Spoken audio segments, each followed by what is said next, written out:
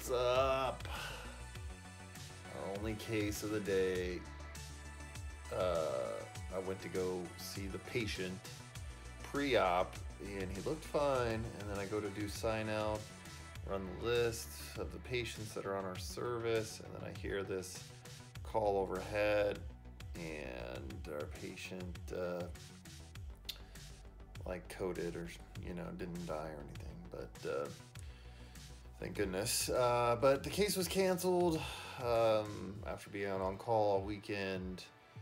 Isn't the ter- most terrible thing, but um, I've been home reading, been uh, reading some books. I usually alternate between a couple different books that I'm studying and then uh, a journal article also that I've reviewed um, that I need to present uh, at the beginning of next month.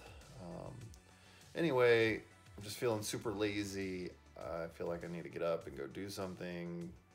Uh, actually, I'm feeling like I don't want to do anything, but I really need to. So I'm gonna go try to go for a jog around the block and um, just try to do something like physical. Get up and do something.